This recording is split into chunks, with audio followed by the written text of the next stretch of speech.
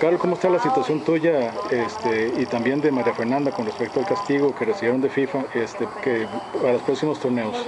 Bueno, el castigo viene después del último partido en donde participamos en Veracruz, en donde obtuvimos medalla de, bronce.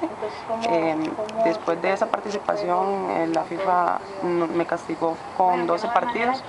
Eh, antes de eso tuvimos una gira que fue a Croacia, en ese sí pude participar, pero después de la gira, este, en los partidos de fogueo que fue previos al, al Mundial, lo que fue este, los dos contra Colombia, los dos contra Canadá, en eso no, no pude participar. Los dos que vienen contra Canadá, eh, perdón, contra Estados Unidos tampoco voy a poder. Eh, en mi caso fueron 12 partidos, llevo 4 hasta el momento y María Fernanda son 6 y lleva 4 hasta el momento. María Fernanda lo, los termina ahora con estos dos que se van a tener contra Estados Unidos y en mi caso me quedarían, sin contar esos dos contrastados, 6 eh, partidos más de fogueos. Eso no me impide poder estar en torneos oficiales, son solamente este, fogueos clase A.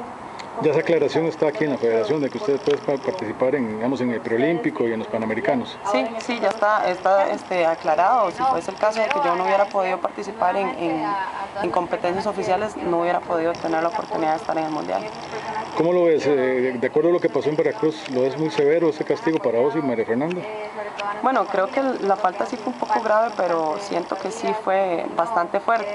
A pesar de que lo siento que fue bastante fuerte, pues en buena hora llegó de que en, que fuera que, el castigo se cumpliera en, partidos de fogueo y no en, en, oficiales, porque no hubiera podido estar en todas las competencias que, que, estamos teniendo en este último semestre de este año. ¿Qué fue lo que te castigaron? ¿Por qué fue que te castigaron tanto?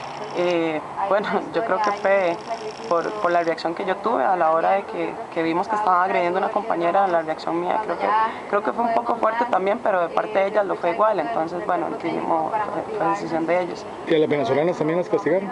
Eh, tengo entendido que hay un, que hay, sí, que a una de ellas eh, también la castigaron con 12 partidos. No hubo respeto al cuerpo arbitral, simplemente fue a, a, a una rival. No, no, fue solamente una rival, con, con las árbitras no, no fue absolutamente nada. ¿Qué te queda lección de esto?